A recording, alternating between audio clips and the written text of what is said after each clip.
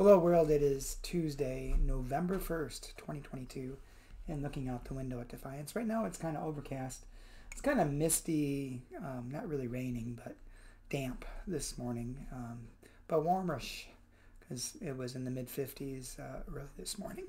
and I think it's going to be near 70. Um, and I think kind of cloudy with maybe some breakup later this afternoon.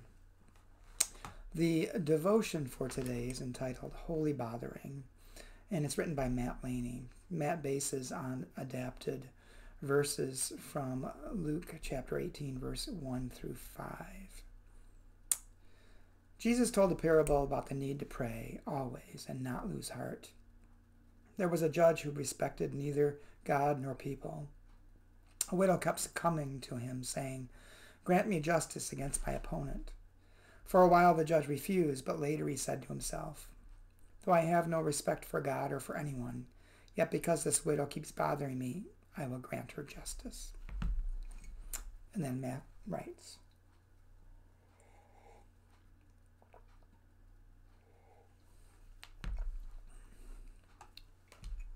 Civil change for marginalized communities doesn't happen overnight. It typically comes about because politicians have been worn down by the people's persistent bothering. President Biden's recent student loan forgiveness plan for some borrowers wasn't simply the result of kindness and compassion. It was a result of a long, well-organized bothering campaign. President Roosevelt didn't enact Social Security purely out of the goodness of his heart.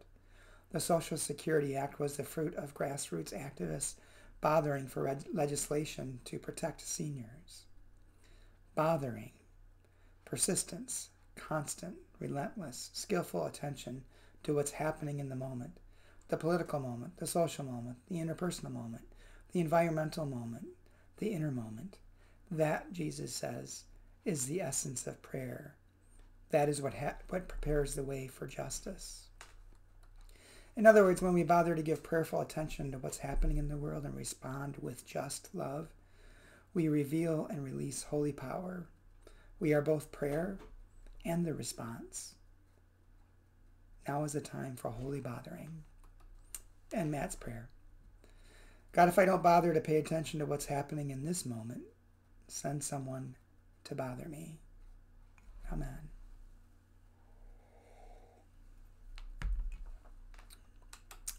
Well, this devotion um, makes me think of um, well, my personal belief that prayer prayer is important, but prayer is more than simply asking God to intervene. Because um, I don't think God intervenes directly in the world miraculously, um, but through us. And sometimes that's miraculous too. God um, we are the answer sometimes to our own prayers or to someone else's prayer. Um, but it's consistent bothering, as Matt says, um, continuing to work for justice and for change for all people so that um, all everyone can understand that they are a child of God created in God's image.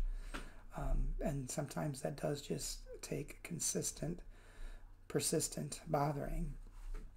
Um, and in a way, when we undertake those kinds of tasks, um, our very life becomes a prayer. Because for me, it's all about trying to uh, live out God's love in the world. And what greater prayer can we have to God than to pray to God for the strength and the courage to take the action that God wants us to take in the world to bring justice to the world. I hope you have a good day, and I hope to talk to you and see you again tomorrow.